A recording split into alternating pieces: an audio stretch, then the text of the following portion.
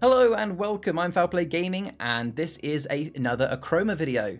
Today we are looking at starting a bit of a tier list series. Uh, so we're starting with the first realm in Achroma, which is called Curse of Curdle Hill. Uh, if you haven't seen one of these tier lists before, essentially we're going to be ranking every single card within this realm, which is a total of 60 cards, uh, from all the way from uh, S tier at the top, all the way down to uh, F tier. I'll explain the tiers in more detail and in a moment. Uh, but firstly, joining us in this video is uh, Carry, on My, Carry On My Wayward Nun, who is my wife uh, and Spoopy Witch in the Achroma Discord. Hello, hello. Hello there. Uh, so yeah, it, it, considering these uh, tier lists are subjective, uh, it makes sense to have a couple of us uh, reviewing this at the same time. Um, and keep it in mind that this is subjective, so you know as we're going through this, you guys might have completely different opinions, uh, and that is fine. Feel free to let us know in the comments if you think we've got something completely wrong. There will also be a link in the description if you want to have a go at this tier list yourself.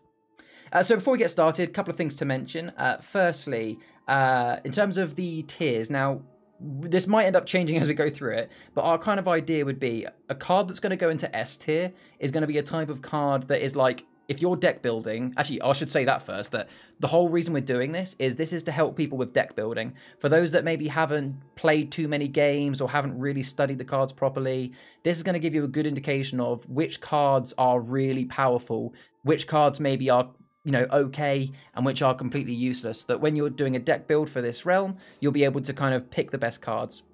So with that in mind, the S tier, we're going to be going with cards that are, uh, you know, pretty much invaluable. If you can put them in your deck, you'd be stupid not to. Uh, a tier cards are going to be cards that are really, really, really good. Uh, and also, critically, cards that not only are really good, but cards that don't have to rely on other cards. So you can just put this in your deck and it will help you out in whatever way. You don't have to worry about synergizing. B cards are going to be cards that are still good, but to make them, to get the best use out of them, you have to combine them with another card, which obviously then brings difficulty into things like card draw. uh, C tier is going to be essentially just your average card. This is kind of like the middle. Um, you know, no, don't really love it, don't really hate it. It, it does a job and that's about it. Um, D tier is kind of the opposite of A tier. This is kind of like uh, cards that are relatively bad, but at least you can still get use out of them without combining them.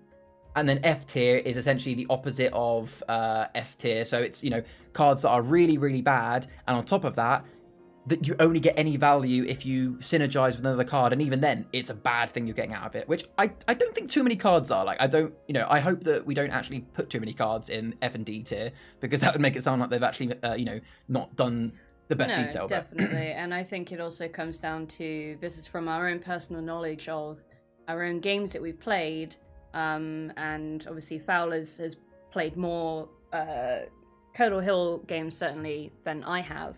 Um, and we've definitely found that some cards are incredibly situational, and even when you bring them out, sometimes it's a little bit too late. Absolutely.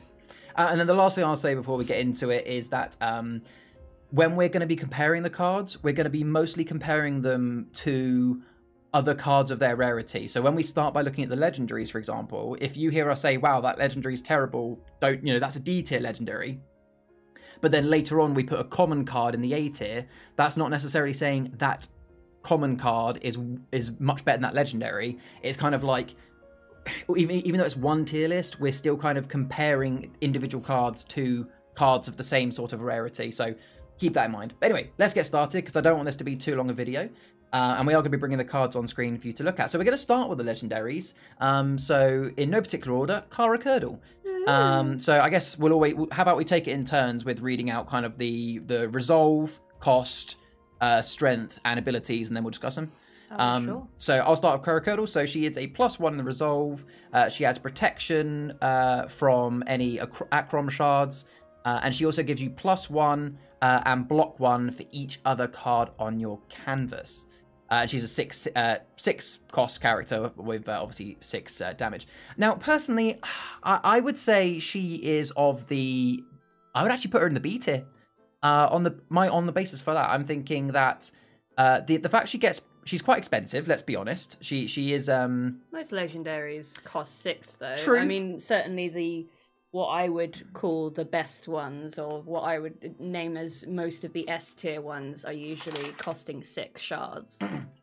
True, but you do get some that are four and five, and my, my reasoning is that um she's only a plus one in the resolve. So if you don't have any other cards out, she's gonna you know, you know you're not going to get that value back very easily. Um, protection from Achrom is all well and good, but you know there are a lot of decks that you might play that don't have very much Achrom in, uh, which basically then makes that null and void. Um, and the plus one and block one for each other card in your canvas that can be strong, but critically that relies on you actually having loads of other characters out at the point that you play Kara, which that's why I'm thinking. I'm thinking B tier, but you might be able to convince me to A tier. But I'm thinking B tier on the sen- sense of not in yeah, it's good, but you have really still need to synergize with us. I mean, I will compromise with you, and we'll go with A tier. Okay. We can always move. Um, We can always move people around as we look at others. As well. Yeah, yeah, absolutely. Um, and I say that mostly because um, quite often in games, I find if even if it's just a two-player game, one person is often playing uh, the Chroma side, and the other person is often playing the Achrom side. You don't often see games in between, for example, the Van, the Von Ruthros uh, and the Magus Elite. Not to say that it doesn't happen, but um, in in my experience, anyway, you know, it's uh, unless unless you're doing uh, Chroma versus Achrom, then it's just Chroma versus Chroma, and Yeah. then it's just a case of who can get to thirty first. Yeah. and then that completely relies on card draw, essentially. Yeah. We'll, we'll put an A tier, but I, might slip her back down one if we when we look at the other legendaries if we decide. Um, so moving next on to Cronus, you can, you can read uh, her out in terms of uh, her stats. Chief Detective Cronus. I nearly said Chef Detective. Um, she does not give anything uh, in regards to the resolve phase up in the top right corner, uh, but she does give a plus three for each Magus, uh, Magus Elite character on your canvas, and of course she has a cost of six. Um, now, I would say that she is at least A tier, um, plus three for each Magus Yeah. Elite character on your canvas. She is a Magus Elite character, therefore you get plus three with her Yeah. anyway. So so You that only takes two one turns other. to, to get her cost back. Exactly. See that's see that's why I'm thinking like comparing her directly back to Kara. If we're saying that Cronus is A tier, then I want to move Kara down to, to B tier, or we put Kronos in S tier because honestly, she it, to me she would be an, an S tier uh, legendary on the basis that Oh yeah, I said Um, a minimum. We can right, put her yeah. S tier. just because she in my she's one of the strongest legendaries uh, for this uh, realm anyway. Just in the sense of yeah, plus three just even by getting her out means yeah two turns and you've got her payback. Mm. Obviously, she's a six strength character, which is great for just generally beating other legendaries like Isadora. Mm-hmm. And yeah, let's be honest, the chances of you getting another character out, even even even if in one turn you play her and then like two other characters that cost one or two, you, You will get nine. yeah, exactly. Like even if you uh, she gets wiped out on the next turn, you've made your money back. So yeah, okay, Mm. let's let's put her then in the S tier. I'm happy with that. All right, so uh, next then we have got uh, Isadora. So she is a steel two in the resolve. She again costs six, uh, and she is an extra steel one for another character on your canvas. Um, so I, I guess I'm leaning towards A tier for her because she's she's kind of, I guess you could argue similar to Kara, where she's I mean, kind of sisters. I mean, they are sisters. I guess they would be quite similar, um, in the sense that you know when you look at their overall net gain, you know, Kara is uh, plus one, and then you know for each other card plus one and a block, whereas Isadora is only pl- only plus uh, you know only an extra steel one for each character, but she starts with steel two. So I, I would be surprised if we put her anywhere else other than A tier. Personally, it just makes sense. Um, yeah, yeah, I'll go with A tier. I, Yeah. I agree with you. Um, because you know, so far with the three, you got to remember with the three legendaries we've seen, we haven't seen any uh, control. Um, you know, at the moment, these three have just been like ways of gaining more shards or stealing or etc. Um, again, we can always uh, reevaluate. So next is going to be uh, Hex Clunker. Reminds me a little bit of Howl's Moving Castle. It does, doesn't it? It is a Beautiful plus- artwork. Exactly. Uh, it is a plus two in the resolve, and this is actually a location. It's not a character. Um, and uh, the description says once during your turn, find or dig for an object of power and immediately deploy it for free. So that means that you can either go through your palette, which is your draw pile, or you can go through your discard pile or your dregs in order to find that object of power and then immediately deploy that for free, which is So not bad. It's not bad, but honestly, I, I, my initial impressions of Cl- uh, Hex Clunker is I'm gonna go down. I would put him down in B tier. I say him. I don't know why I'm thinking. I don't know why I'm fucking genderizing a, a robot. Yeah, what the fuck? um, But uh, yeah, I would put him in B tier. The reason why is, you know, I, I don't think there's any legendaries that I'm aware of that are like, you know, that are meh. Like Yeah. he, he's, you know, he's still a plus two location. That's great. Um, I can't believe you're calling a location he. being being able to you know once per turn take an object which you know you you can i mean to be fair actually saying that i, I mean i guess if you have built it yeah we think of you know some of the objects that we've got you've got cronus staff which is a three cost you might have delilah's cauldron which is another three cost Almost every deck has got a fairly good object Um, of power. I guess you've got um, lots up of to like traps. uncommon or rare. Yeah, but so yeah, obviously you know the reason why I want why I want to put him in B tier. Remember what I wanted for B tier is Hmm. that's a good card, but it relies on other cards to be good. Yeah. If you if you you have you are forced to build a deck that has loads of objects, and even then you have to then get characters out and Hex Clunker out to be able to then get those objects.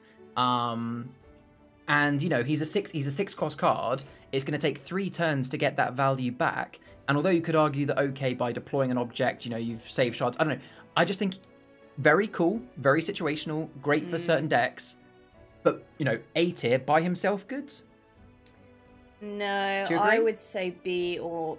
Uh, no, I wouldn't quite go down to C. No, I think- I think he's got I value think, in him. Yeah, because uh, there's there's still the the plus two. Yeah. Uh, in the resolve phase anyway. i honestly don't think we're going to go any uh, lo- you know uh, low for any of these legendaries No, um so next is otrix my baby. This is you. Oh yeah, yeah. So uh, it's a steel steel one, um, uh, five cost, but the action claim a character from another canvas. So this one's an, an awkward one because you know so far with all of the other four legendaries in comparison, they've all had really strong you know way uh, gain in the resolve. But where Otrix is different is she's only a steel one, but she costs one less. But that that action though is you know that could be game changing if you are tactical and you wait to play Otrix after your opponent has played, you know their Detective Karakurdle. Huxon, for Detective example. Huxon, for example. Ems. Sorry about that. Ems. Uh, you know, or, or you know, they're legendary. You know, if you're tactical with Otrix, she can literally be game changing. So yeah. I, I'm I want to put her in A as well. I I, think you know I, I agree, and also because she looks great. she does look I great. mean, look at her. she does Look look at that balance. Incredible. Uh, all right, then that brings us to our last legendary, which is uh, Klaus von Rothroll. Klaus von Rothrow. He's very cool. I Yes. like him. Um, so he has a plus three in the resolve. He only costs four shards, um, but he gives you a plus two for each other character on your canvas. So he's pretty ideal for any character heavy deck that you would want to be playing. Um, Yeah, and see, it's it's hard. I'm really tempted to, for my initial impression, to put him in the S tier because again, when you compare him to the other person we put in there, Cronus, yeah, I was thinking you know, that. she's a plus three for every character, which technically includes herself. for each Magus Elite character. Yeah, from each Magus Elite character, exactly. Um, and six costs. He costs two less, Hmm. gives an extra one as he gives. Yeah, sorry. He also gives three from himself, uh, and only two for each character. But as you kind of made a point of there, it's every character, Yeah. not just detectives. I mean, you could even role play it or lure it if you wanted to, and get him into uh, the occultists, for example, where Yeah. um, some of the some of their builds are, um, you know, uh, getting as many characters out as you possibly can. Imagine Yeah. having Klaus in there as well. um, so are we, are we happy, Vesta? Yes. Yeah, I, I think so. Okay, well there we go. There is the the legendaries. At this point, feel free to leave a comment if you feel like we've completely given the hex clunker the wrong side of the uh, the, the board. Um, so let's move on to the rares. So um, in no particular order for these. These these now aren't in order down here. I'm just going to literally choose on my on my list. So let's start with uh, Arabella von Rothrow. Um, Klaus's wife. Yeah. Uh, so who read out the last one? I think it's I did. Okay, so Arabella is a steel one. Uh, she costs four, which is the same as uh, her husband. Um, and the action is you may deploy an additional card on this turn, or one other player may uh, deploy no more than two cards during their next turn. Now, That can be game changing. yeah, I guess it, it- it's quite situational. Um, you know, being able to play an extra card in your turn can be really powerful, especially if you're about to drop, Cro- uh, you know, uh, Cronus or Ruthro. You know, so you can get an extra character out for those extra points. But critically, having being able to play an extra card relies on something major, having the shards in the first place. Yeah. So unless you're already near end game anyway, if you're already spending four shards for Arabella and you're already spending, you know, let's say an average of two extra shards each on two other cards, so let's say you've now spent eight shards, what are the chances that you have more shards to spend on a fourth card? So I don't know. I don't think that. I mean, I've only really played her a couple of times, but I don't. I, I mean, the, both the times I've played her, I've actually used the second part of her ability, which is uh, to take uh, stopping someone else. But then again, most you know, especially early to mid game, most players don't have that many shards. So telling them, "Oh, you can't play a third card," is like, it's fine. I couldn't afford to play. A th- I didn't. Even, I didn't even have a third card in my hand. Yeah. like, um, I don't know. I personally want to put her in the C tier. Uh, I I think that she's kind of she's not terrible. You know, there's situations where she'll be powerful, but I don't think she's. I wouldn't even put her in B tier personally. What about you? Um, it's the resolve uh thing that really gets me. That that makes me the, the fact that she's only a steel one. Yeah. If she was uh, a steel two, perhaps, um, or even just a gain 2 Mhm. then you know I would probably put her in B tier. It does make sense for her to be stealing, since you know there's there's the passage of you being able to say to another player, "Sorry, you can't deploy a third card this round." Um, but no, I I would agree with the C tier as well. She's she definitely has her place. Um, know your place. uh, but uh, yeah, that that would require potentially some building around it. Cool. All right, we'll go for C then. Uh, so the next one I've got on my list in front of me is uh, yeah, Kara's Chroma Cure. Woo! Um, so Kara's Chroma Cure is a it's a rare, but it costs six shards. Now this is an action that gives you plus one for each character on your canvas. And you get to erase all characters with the black coloured shard. That includes characters on your canvas. And characters with any uh, chroma coloured gets protection from the black shards until your next turn. Now, damn, I would put that up in S personally. Really? Yeah. So I don't know. I'm I was thinking B Really? because again, don't get me wrong. Like reading all of that sounds really really powerful, but it's just an action, so it's just a once off. Um, so you know, I, I'm looking at all looking at all these uh, things individually. Plus one for each character on your canvas. That's all well and good, but unless you realistically have four or more characters on your board at that point in time, I mean, let's be honest. Unless you had more than six characters, you're actually not getting any bonus. You're not like gaining anything right now. You're just kind of like reducing how much you spent on the cure. Um, let's be honest. How many times do you often have six characters out? Not that regularly. I don't know. So yeah, again, the gain isn't actually crazy good. Erase all characters with uh, Achrom. Well, obviously, firstly, again, that relies on you going against uh, an Achrom deck, which you know doesn't always happen. Or you know, you might be playing a, a multiplayer game where that only really affects one person, and they might not have any characters out at that point in time. That also raises your own characters. So if you've built this card into a kind of a blended deck, might erase your own. And then, yeah, characters with any um, etc. Uh, you know, chroma get protection from black till your next turn. That's only for and only till your next turn. It's not permanently. But then if you're also in a multiplayer game anyway, then Yeah. And unless you un- know you un- can't get attacked at any point until your next turn from uh, Achrom. Mm. I, I think it's again really I, it, can, it can be powerful. So I would I would put it maybe in the I that's why I want to go B because I, think it's really powerful, but it's very situational based on other cards that are on your deck, other cards that are on their deck. Uh, I'll compromise and go A tier if you want, but I'm on I'm really on the fence. All right, fine. We'll go B. You sure? Fine. Okay, okay. That you're, you're giving you're giving me one there. There'll be a time where I'll concede to you at some point. Yeah, you better. Uh, so next on the list I've got here is Cronus Staff, uh, which is actually over here. Um, so uh, Cronus Staff is a plus one uh, object of power, costs three, and I think this is so strong. While Cronus Staff is attached, all Magus Elite characters on your canvas have a plus one. Have a block one. Oh, sorry, a block one.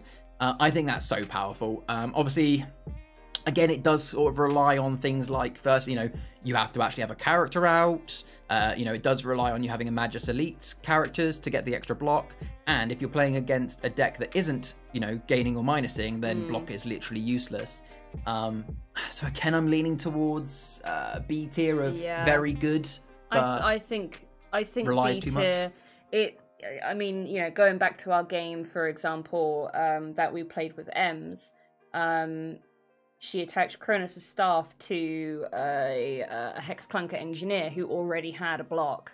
Um, and obviously she was playing just for Magus Elite, um, like the, the starter deck. So she was pretty damn powerful um, when she had that out. And actually, we had to really try and plan out how we were going to get rid of all of her stuff so that we could actually steal Yeah. things from her. So, to be in short, very powerful card, but just it has to be. You have to rely on other things happening, like having Yeah. ca- characters out. All right, cool. Uh, so next then uh, is Delilah's Cauldron. Woo! Like my D&D character. Yeah. So this is a cost 3 rare card. And during your turn, you may draw a card. If you draw an action, place it under Delilah's Cauldron, that being an object of power by the way, didn't say that, and play it for free at any time. If the card isn't an action, place it at the bottom of your palette. It's a tough one because there is so much that you can gain from that, but there's also so much that you can lose. risk, Imagine it? pulling imagine pulling a legendary.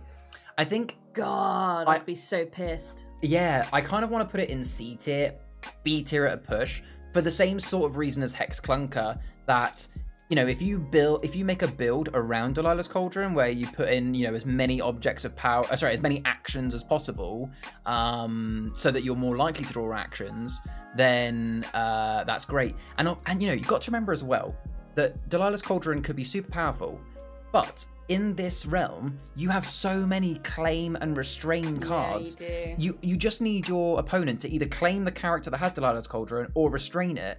Jarvis or- Tremor or can kill- just straight up nick it from you. yeah, exactly. Jarvis, like you know, can will, will come to Jarvis in a bit. He's only an uncon card. So I think with that, I want to put it in.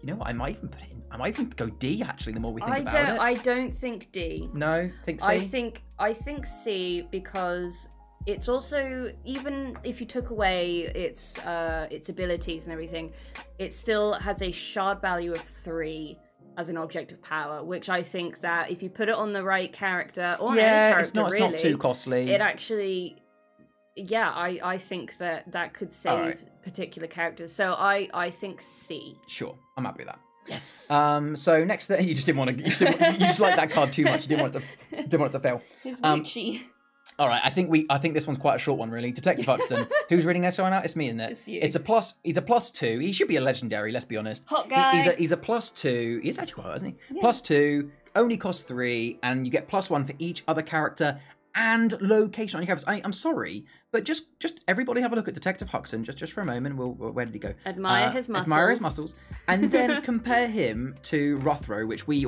believe to be so plus two, one for each other character, plus three, two for every character. So it's slightly less, but when you consider that it's also every other location as well, and he costs one less to play, it's just yeah, he he he, in my opinion, is S tier. i mean It it's, has to be S it's at a point where you've got to think are you going for the silver fox or are you going for the daddy material and uh, detective huxton i believe is s tier Yeah, for both looks and uh, ability. And game. oh Yeah. absolutely i mean he only costs three Yeah. and you get And you can have two of them, but and- not out at the same time. No, but As- like it costs three. You get a plus two in a resolve, and then you get a plus one every single resolve for each other character and location on your canvas. You're more often than not going to have at least one other card out Yeah. on your canvas at a time. So already in one turn, you've made it up. Exactly. And I'm sorry, I just made a mistake. You, there's no situation where we'd have two of him on the board. Not Like, only no, he's a rare. Yeah, because you There's only only have one one of them, Yeah. yeah. I mean, yeah. Uh, so yeah, he absolutely yes tier. All right. So next is Detective uh, Vraxia.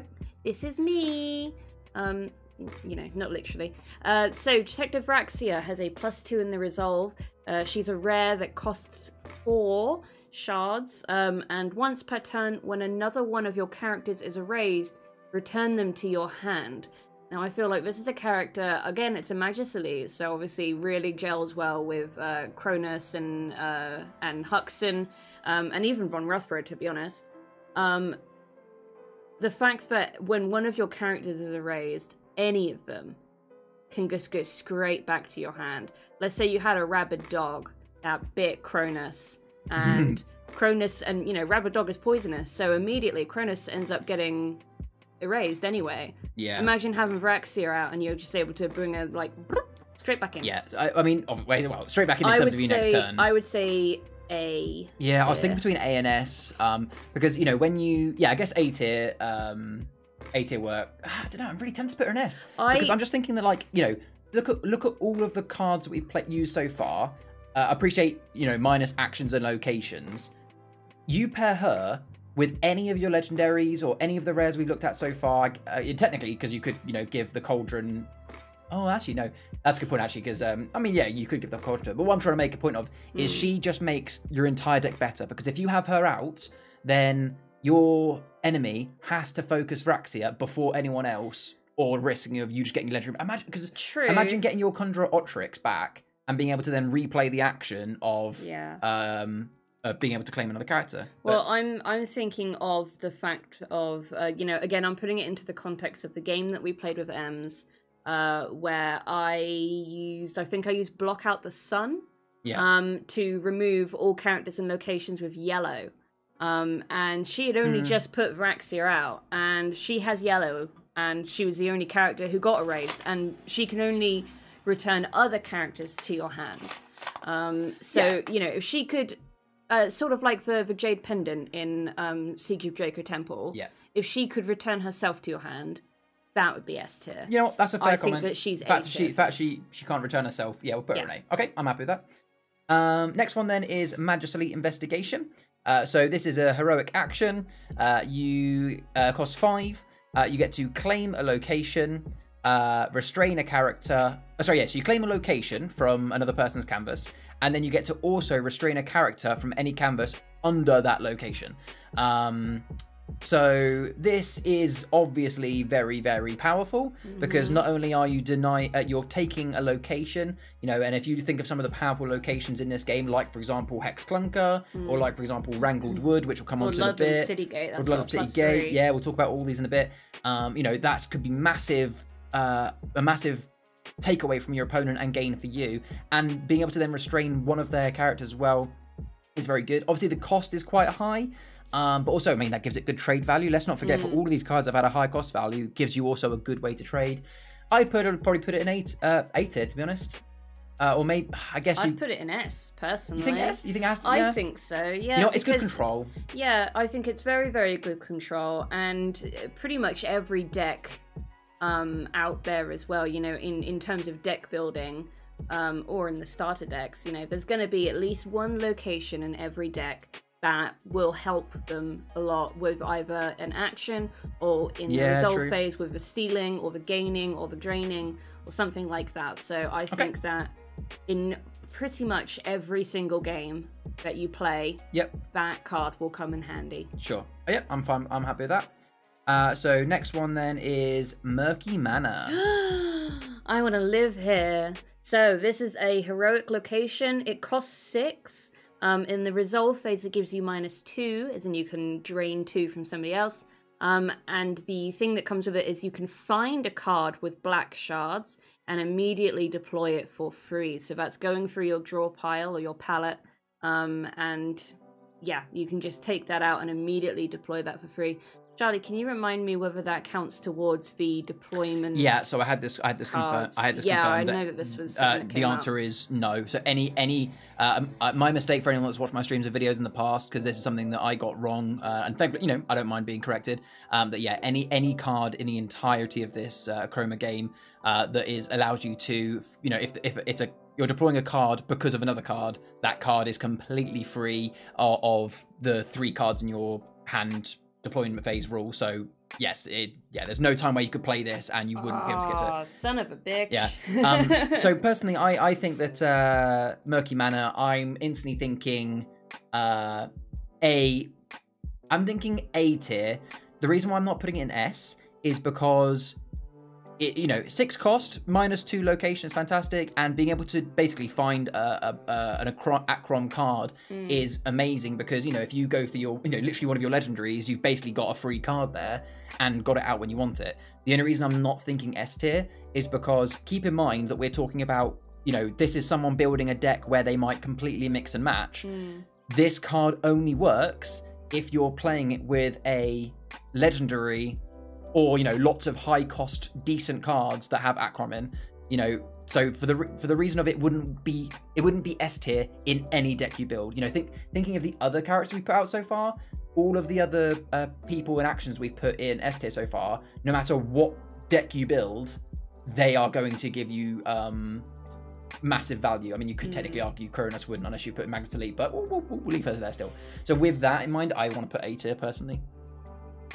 I I think I agree with you on the A tier, but I do want to put out there that um you know, building around Murky Manor or just building a deck with Murky Manor in there. Um I feel like you really only need, you know, a minimum of one card that has Achrom. If it was just the one card, I would expect it to be a legendary or another rare.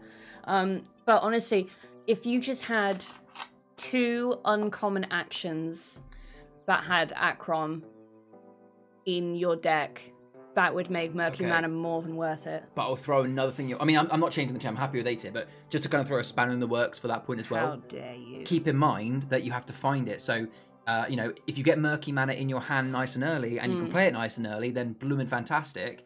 But if you don't get Murky Manor till mid to late of your deck, and by that point you've already played those said Achrom cards, you know, um, you know, you've already you've already had your other Achrom cards in your hand or on your deck or in your dregs. That now becomes almost useless because the card you either have no card to find or a little It's true. dog. It's true. Or you might have both of the cards to be able to find because Murky Manor came out for you soon. Almost every single time that I have played with, Mur- I've played a deck that has Murky Manor in it. Murky Manor has been in my starting hand. And that's that's just pure luck. That's just, I know. that's just pure I know luck. it's just pure luck, but I'm just saying, Yeah. like every single time, it's been in my hand. so just because I'm just because I really don't want this video to go. I mean, I wasn't. I didn't want to go over half an hour, and we're barely halfway through. Whoops. Um, we'll we'll probably we'll probably talk like in detail about the rest of the rares, and then the rest will go through nice and quickly, and hopefully keep Yeah. this video under an hour. Um, but yeah, so either way, we agree that it's A tier. Mhm. We yeah, cool. Um, so the next one then is uh, uh, oc- oc- uh occultist ah occultist den. I can never say the word first try. I, I my my my brain goes different words. Um, so this one is a steal two. Uh, it is another heroic location, five cost. During your turn, you may dig for a uh, occultist character. Um, again, I'm going down the same uh, thing as Murky Manor here for myself. That I feel like it should be A tier. Uh, again, Steal 2 is fantastic, just like Murky Manor is minus 2. One, cost 1 less than Murky Manor, lovely. And it's kind of like um, like the fact it's once per turn you can dig. Actually, no, no, I want, I want I think tier. it needs. I wow. Okay, I think it needs to be B Well, I'm just thinking that um because it's for an occultist character. Yeah, I guess it is for cultists. But so where I've seen this be so powerful, and again, I guess I'm going against my very own point here of saying you know it has to work with other cards. Is I've seen so many games where people have had Occultist den out, and especially when you do uh, Achrom builds, you struggle for shards. So what you do is if you have Occultist Den out, uh, cards like a cultist uh, shaman, which will come onto in a bit, which is a three cost character. Oh yeah, I've You- literally done that. Yeah, you do it where you trade her, and then once per turn you get to dig her. You dig her back, and then you trade her again at the end. So like you can dub- you can Mm. double trade in a turn. Or you, like I did, you attack somebody with it, get Yes. rid of their other. yeah, get rid of three card, card and then just bring it and back then- anyway. Yeah. So there's so like you know even though it, it costs five, you you know in three turns it will have paid for itself, and in on top of that, every single time you're digging for a character, you're just getting so much value. But I d- I still feel like it should be B tier because it relies on you having an occultist character. okay, yeah, you know what? I, I, I- did say I would. Um, I did say that I would. Uh, I would uh, let you ha- let you have one. It's a good card by no doubt, but you know it's a little bit like Yeah. with the Magus Elite. You either have Magus Elite or you know No, true. you've got the Ludlam City Guard, who's actually True. a wizard. You know. Um, let me know in the comments what you think about. It. I think that I think that one might split the room. Ooh. Um, so next one, selective, diminish. diminish, a heroic action that costs you five Achrom shards. You can erase up to one character one location, and one object of power with any of the chroma shards, so any of the colored ones. Um, now, this is one that, to be honest, I've never actually used myself. I have only ever been able to trade it. Um, because Yeah. every time I want to be able to use it, I'm not in a position to. Um, Uh, but, you know, five shards, not bad. Yeah, and personally, although you know that's a lot of control right there, you know, one mm. character could be a legendary, Yeah. one location could be a legendary, one object of power could be a rare. However, the like, you know, what's the likelihood that the character, location, and object that you're getting rid of costs a total of five or six shards? I, I just think that I think it'd be better in a big multiplayer game. yeah, you got more yeah, 'cause you- canvas to obviously, choose from. Exactly. Yeah. There's yeah. You know what? That's a really good point. That you know, it doesn't say that it has to be from from the same canvas. So you could erase a character from one location from the other, object from another. You could even erase one of your own characters or locations because I think there are some characters that say when this is erased, blank blank blank happens. Or I'm not sure if there is in this actually, realm. Yeah, I don't think there I think is. it's only in Siege Temple actually. Yeah, um, but either way, I, I personally, I think I think tier. I think that because it's um, you know, it's costs a lot. Mm. Yeah, situation would be great, but it relies on it's, it'd be better in multiplayer games. Yeah, I'm just not a big fan. Yeah. Um, next one then is Sorcerer Pifarius. Pifari- Pifarius. Pifarius. Pifarius. Um, so this one's me, isn't it? Um, so as in like as in me to Yeah. read out. Uh, so it only costs three, which is quite cheap for some of the rares we've seen. Uh, uh, and you gain, sorry, you steal one for each occultist character on your canvas. Uh, personally, I think that's B tier. You know that that you know, uh, considering that steal, uh, you know, especially in Achrom decks, uh, steal, you know, gaining shards through steal is so important Plus, it happens every turn. every single turn. Uh, you know, he, he's being a three uh, health. You know, you're going to need some quite good cards to get rid of him. Yeah. And you do have quite a lot of cheap. Um, you do have quite a lot of cheap occultist characters you can get out, like Prism Sapper and Warlock, that we'll talk about in a bit. Mm. Um, that I think if you pair them up, you know, again, B tier, good if you pair them up with other things. Yeah. You agree? All right, Yep, we've got we've gone so. B tier for them. Mhm. Uh, and that brings us on to our last rare, which is Von Rothrow House. Beautiful location. Very pretty house. I would live there. Again, house moving castle vibes. Um, so this is a cost five uh, card. It has a plus two in the resolve. And it comes with during your turn, you may dig for a character with any chroma shards and create and sorry and trade them.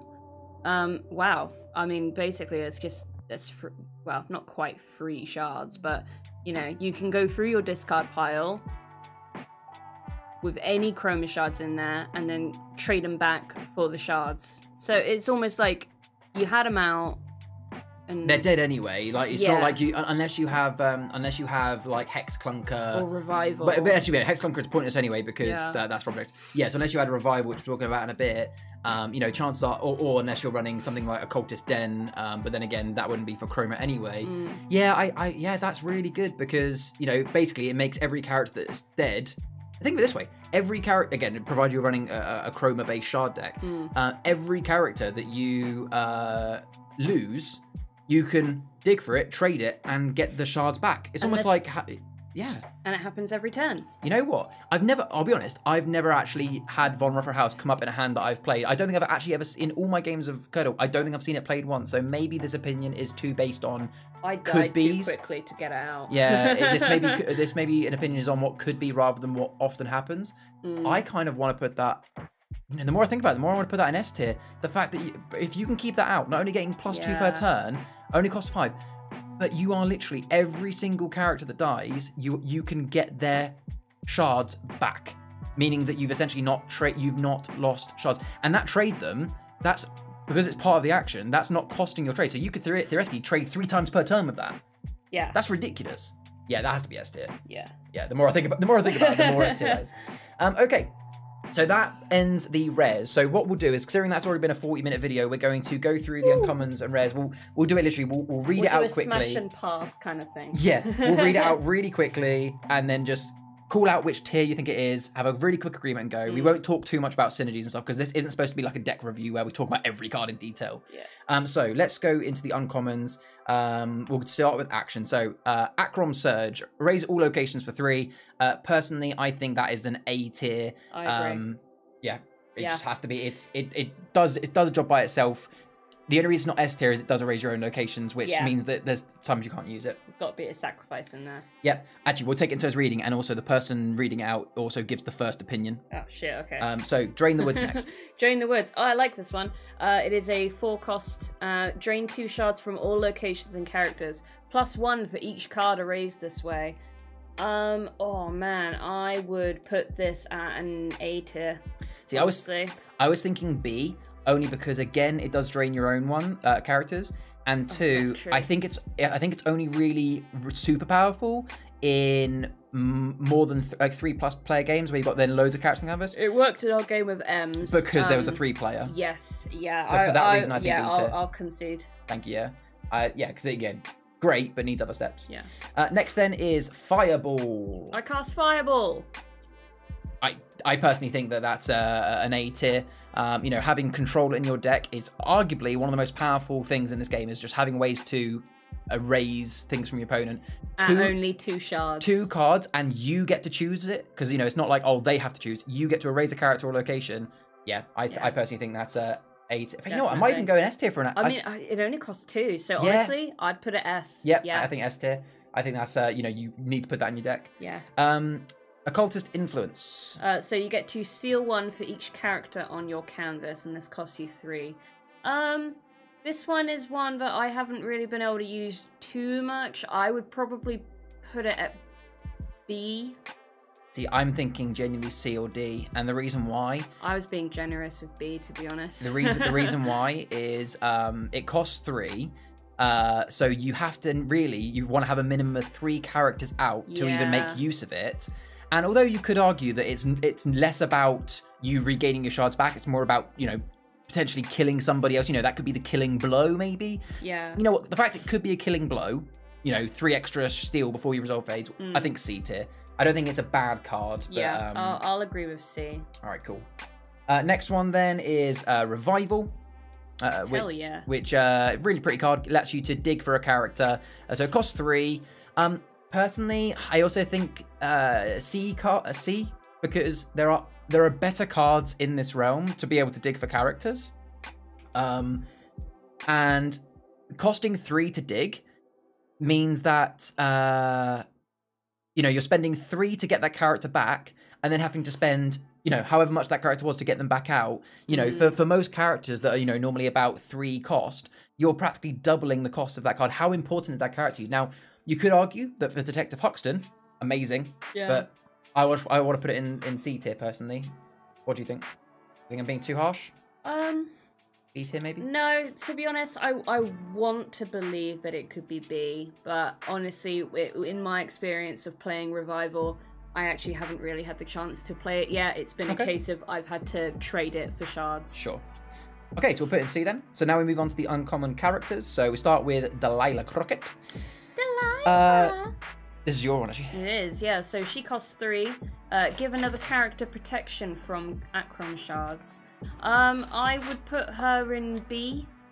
Oh, maybe C. Yeah, I'm I think C. C. She's only three shards, so she doesn't cost that much to put out. But also, that means she doesn't have a lot of health. And she only gives protection to one, One other character, And that's yes. only from Achrom, which again, going back to my point that I keep bringing up. Yeah. If you're not against an Achrom per, uh, player or you're a multiplayer game, Yeah.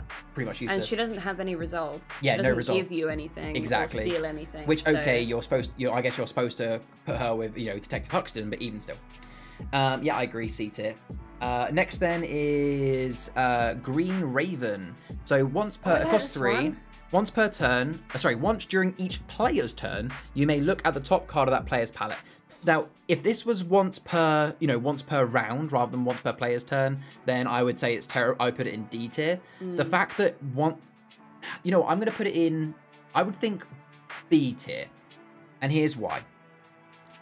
In single player games, or like you know, do player games, actually no, no, no. I'm, I'm, the more I think about it, I change my mind. I think that's A tier. It doesn't rely on any of the cards, and if you have this out, not only is it a character which you know means you can put uh, you know items on, or with Detective Huxton gives you more things, but the fact that until they get rid of it, you can once per turn look at their top card.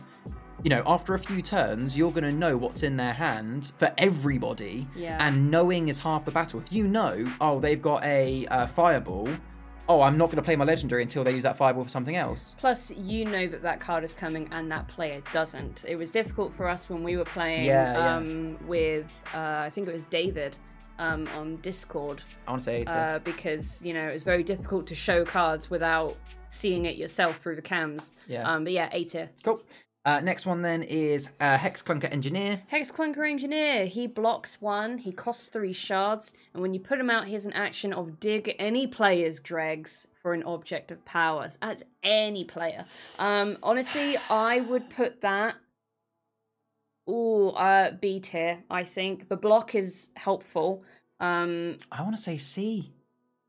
And it, the reason why, uh, the reason why the the difference between B and C tier for me personally is if it was dig any player's dregs for an object of power and play it immediately for free, B That's tier. true. But the fact you've then also got to spend shards and another card your turn to play it, when you actually look at this realm, there aren't actually that many amazing objects of power. You've got a couple of uh, rares like Chronos Staff, that's great. Delilah's Cauldron, well, we put that in C tier anyway. but and you've got a couple of cheap ones like Neon Trap, which is good for restraining. But you've then you've then sorry, you've got you've got to rely on those cards being in someone's dredge and you being able to play at the same uh well, I guess you haven't got to play at the same turn. And again, because he's only a block, you've just spe- spent three to again not potentially get any more resolve. but you're also stopping somebody else from getting that. For example, if that person's got Hex Clunker, Yeah, I get well, very they situational can though. they can get that object of power. Yeah. You know. I I will I will come down to see Cool. for you, but Cool. I still think that he has potential. Yep, that's fair. Uh, so next then on my list here is uh, is uh, Jarvis Tremor. You little shit! Yeah, Steals people's stuff. I'm gonna suggest. I mean, I'll, I'll- lean towards you uh, here, but I would put him somewhere in the B to C tier. Uh, the the action being able to claim an object and attach it to him. Actually, no, B tier for the same reason that I put engineer in C tier, because at least with Jarvis, you are spending three to claim an object that's in play now, and you get to attach it to him now for no extra cost. So for that makes him be over Hex Clunker Engineer. True, he doesn't have anything in the resolve phase, however. You'd have to kind of hope that the object of power would give you Which, something to in be the fair, resolve. mm, I don't think there's Some a single. of them do. I think the only object of power that doesn't give you something is. Delilah's is Cauldron. uh, Delilah's Cauldron and Neon Trap. So I, yeah, I mean, are you happy with B tier? I think c- when you compare him directly to the card we just looked at, when you compare him to Engineer, it makes sense. Yeah, alright. Uh, next one then is Magus Elite Enforcer. He's kind of cool. Um, so he gets a plus one in the resolve. He costs three shards. Increase this Magus Elite enforces shard value by red when they attack. Um, I think I think tier. Yeah. Yeah. To be honest, Yeah, yeah. cost three. you know, co- cost three gives you a plus one, which is always always great.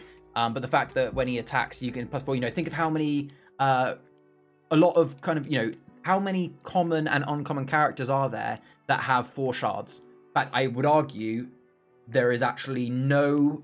Yeah, I'm, I'm looking at the board now. I don't think there's a single character that isn't rare or legendary that has four shards, which means that he, if you have him on the board, you can effectively attack and kill any non-rare character on the board, Mm. provided there's no objects and provided that um you know you attack before you are attacked. So Yeah. yeah, for that reason, I want to put him Mater. Yeah. Uh, next then is Magus Elite Prote- uh, Protector. So once per turn, you may defend another character on your canvas. Cost three plus one. Uh, I think B. She's cool. Yeah, I would Yeah. say B as well. It's very akin to the uh, the dragon that can Yeah, protect Materno. only. Only this one gives you. Uh, Oh, not Materno, it sorry. lets you resolve.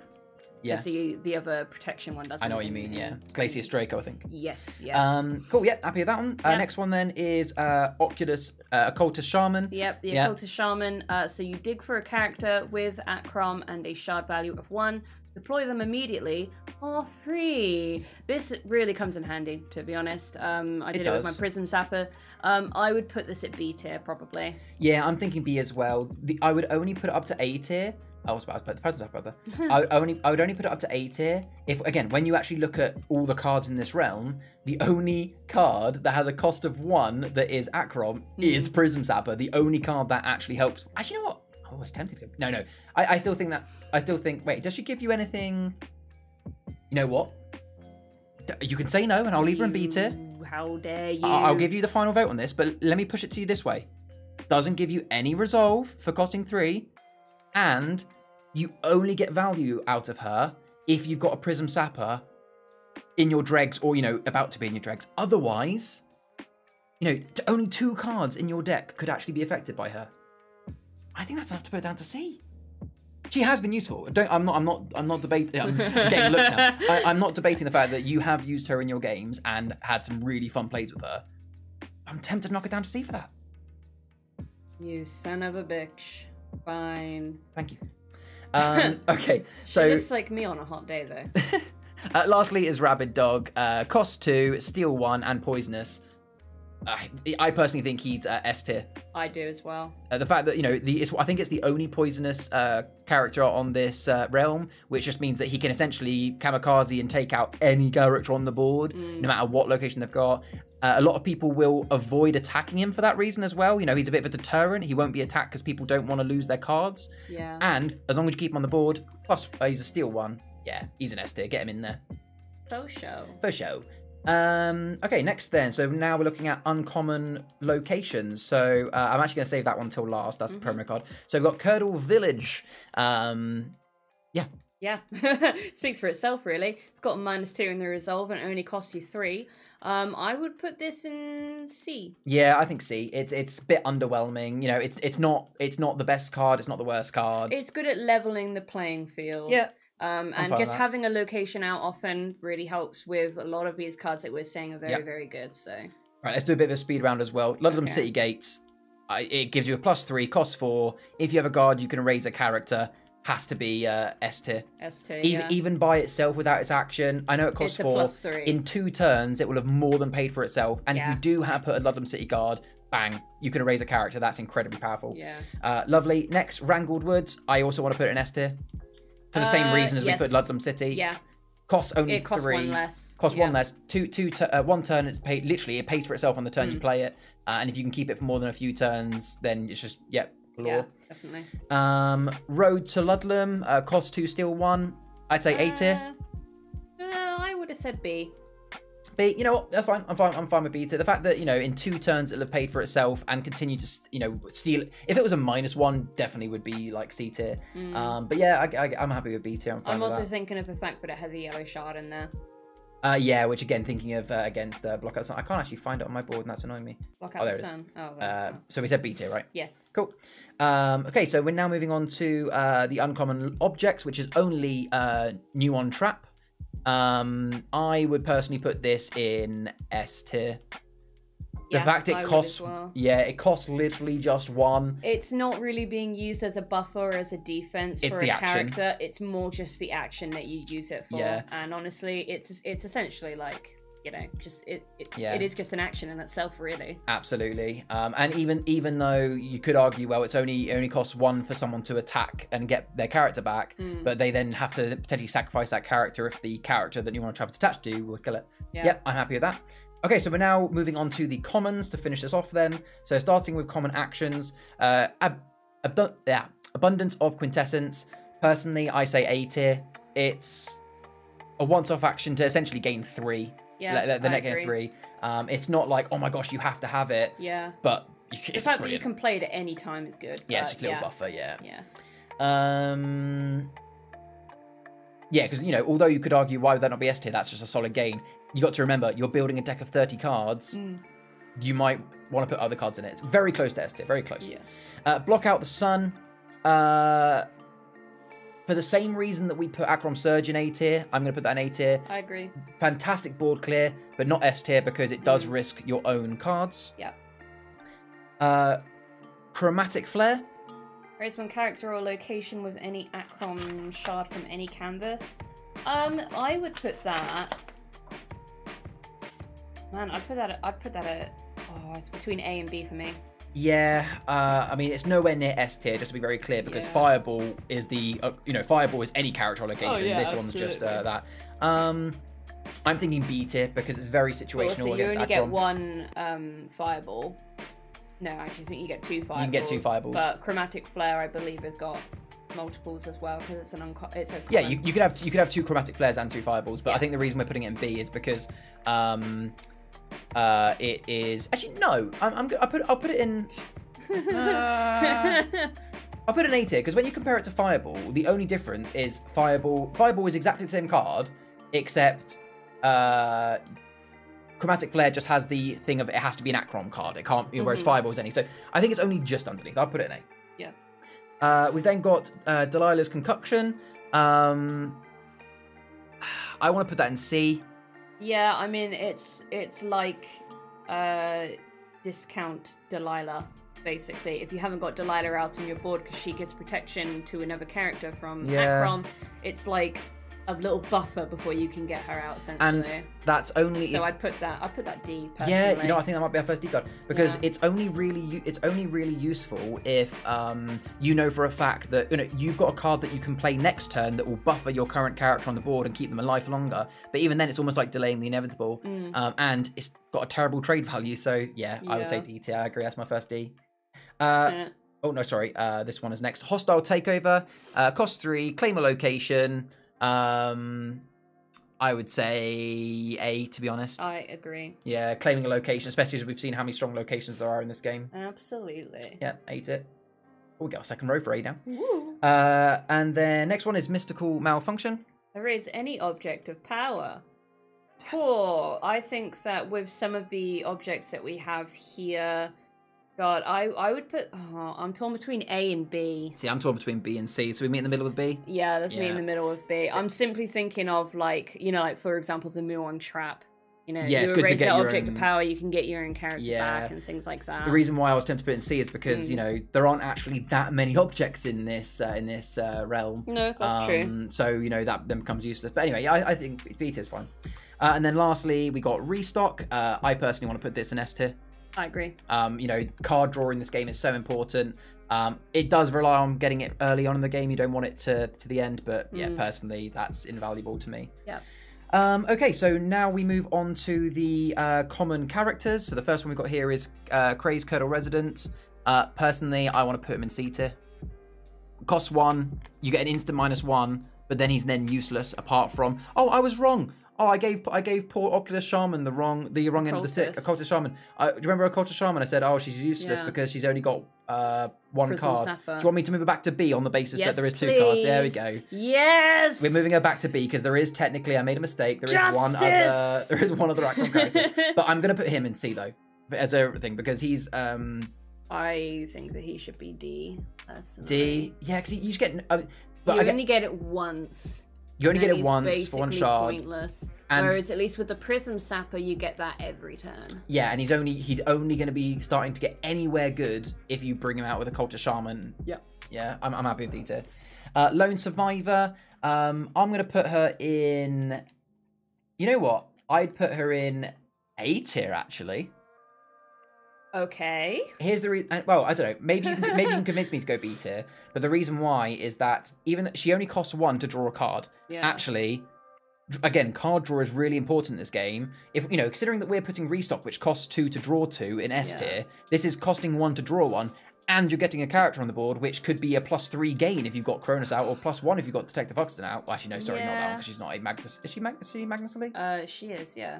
Uh, no, she's a witch. So actually, she wouldn't work Oh. for Cronus. Oh. Right. Sorry. But no, I thought you were talking about Cronus. But she would work for you know Ruthro or Huxton. Yeah. Um, I want to put her in A tier for that reason. Card draw is card draw with a character. Um, Sorry, I didn't mean to yawn. that's right. Ludlam City Guard. Uh, I would a wizard. I would say B tier. Um, you know, he gains himself back on the same turn. If you can keep him up for a couple of turns, he's going to gain. And the fact you get a free block if um, Double C If you gauge double on your C, canvas. again- Yeah, I'll I'll agree with that. yeah. Uh, what is next? We have got Magus Elite Agent. Uh, personally C tier.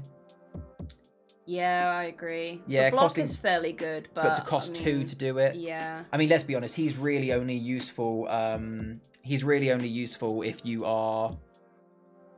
Actually, you know what? I'm tempted to put him D tier. You know, because again, he on by himself, yeah. uh, he's only really useful if you have, you know, he's basically there to be fodder for your Detective Cronus, Huxton, or Ruthro, or Kara Kettle. Yeah, that's Yeah. that's true. That's Otherwise, true. he's he's pretty- also your first profile picture on the Achroma app as Yeah, well. But you know, So for that reason, he goes down to D. yeah. Um, Uh, who else we got next? So next we got the Magus Elite Detective. Uh, this one I'm going to put straight up to A because he's like he's like again he's like a where Huxton is a discount Rothro uh, or Cronus. He's like a uh, he's a, a, discount. Cronus. For each other Magus Elite character, Uh, he's yeah, a it's only discount Magus Elite. Oh, you know what? In which case I want to go B tier. Actually, I forget it's only Magus Elite. All right, fine, whatever. Yeah. What else? If it was every if it was every other character any character, I put him A, B for that reason. man, Sheriff's gonna be so mad when he sees this. Um, so where are we next? Uh, Magus Elite Inspector. This one I'd oh put an yes, 80, yes, definitely. Although it is still Magus Elite characters, the fact that you can literally go and find one um, is She yeah. costs two, and you can go and find a card of one, two, or three. You could potentially find Huxton. yes. Well, that that's pretty much exactly why you play Yeah. it. Yeah, yeah. Uh, Bada so, bing, bada boom. well, uh, I guess you could say B tier because she has to. Re- I mean, no, she doesn't no, have a she doesn't rely on but cards. no, she doesn't. Yeah, I'm, I'm happy with A. Yeah. Uh, occultist warlock. Um, I think he's he's C tier. He's, Yeah. he's he's not you know he's not amazing. He's not bad. He's kind of right in the middle, isn't he? He's just yeah, he costs steal. two, but he does he does steal. If it was Yeah. just a minus one, I'd be like, But he eh. has to survive two turns to get his value back. Yeah, Um, but because you're draining as well as Yeah, gaining, I would say it moves up to C. uh, and then lastly, we've got Prism Sapper, who uh, I would probably again put C tier because Yeah. she she's kind of like a better version of Cursed Resident, where The crazed resident. Because like yeah. with Craze Resident, although you could argue, oh yeah, Craze Resident, you know that uh, at least Craze gives it, you know, he does it straight away. Well, it doesn't really matter if the action is straight away 'cause the because next Prism Sapper, is, yeah, Prism, yeah, exactly. The next step is resolve anyway. So yeah, I'd put her in C Yeah. tier. Um, okay, so we then come on to the locations. We are almost done. We've just gone over an hour, but that's okay. Um, great tattoos. Blueberry Grove, one for one. S tier. S tier. S tier, just because of the. Uh, no. I, I think um, I think uh, A tier actually. It's a really easy one to get out. It's a, literally a free card. one. It's a free card that turn. Yeah, not many people are really going to be trying to target that either because it's Yeah, only a plus one. and they're going to be saving their control cards for the better locations out there. Yeah, I'm Exactly. happy with that. Uh, right, Curdle Cave. Uh, I think B tier. Cost two doesn't because I've had this in my hand a few times. If your opponent is controlling your canvas and you can't get characters out, that's going to be useless. But if you can get the characters out, aka you know why we're doing B tier is relying on other cards, Mm. becomes very strong. Uh, next one is uh, Curdle Glade. Pretty.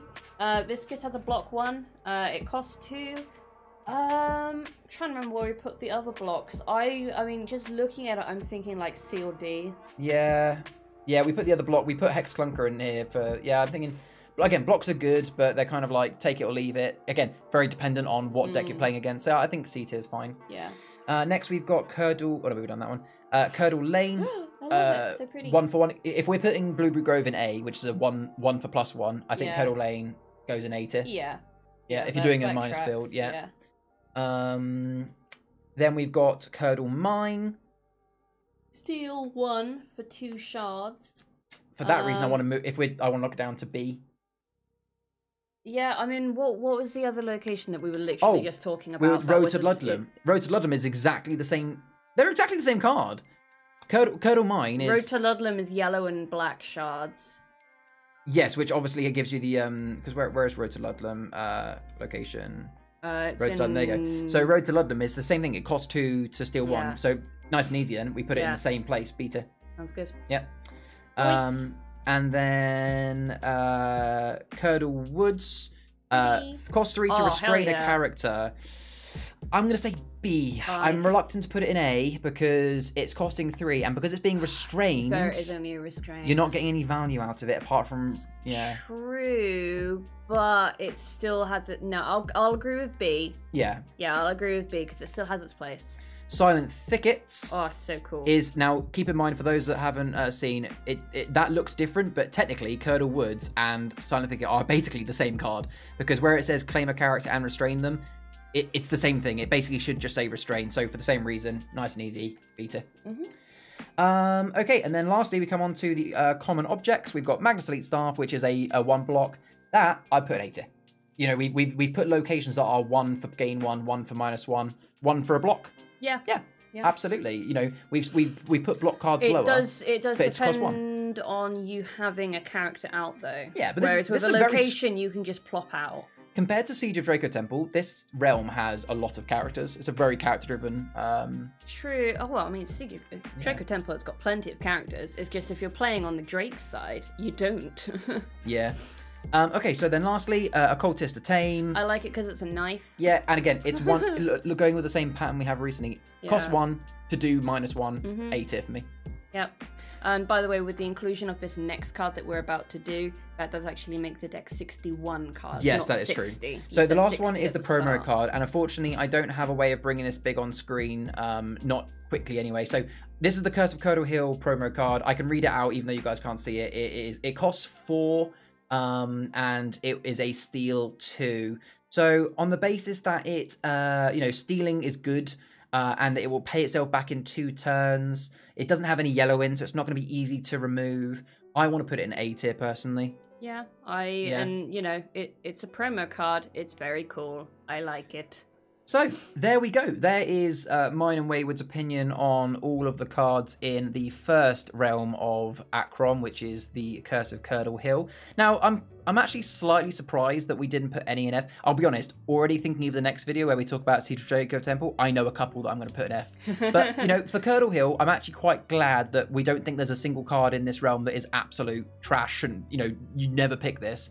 Obviously, we have got a couple of cards at the bottom there that are kind of like, eh not really useful. Everything has their place. Everything Uh, has a place. You know, that's yeah. that's the whole It's reason why these exactly the whole reason why these cards were created was because they have a place. Yeah. We're just theorizing on popular decks and metas and things like that that people are probably going to be looking at and in our own experiences as well of what has been useful to us. Yeah. Well, and uh, so hopefully this has been useful for you if you're looking to deck build in uh, this realm. You know, this will give you a good idea of what card you should be definitely looking to get in your deck, which cards you should be potentially looking to avoid, or maybe you know put in to trade away. Um, I would love to hear your opinions in the comments. Like I said, there'll be a link in the description if you want to do your own version. I'd love to see screenshots of it in the Achroma Discord to see your opinions. But in the meantime, folks, thank you very much for watching. There will be a part two, which will be Siege of Draco Temple, and when the new uh, one comes out, Fall of Flutterby, we'll be doing it for that one as well. Thank you very much for watching. Appreciate uh, Karen Moy with none joining me today. Hope you guys have fun, and see you in the next one. As always, remain wholesome. Thanks, guys. Bye.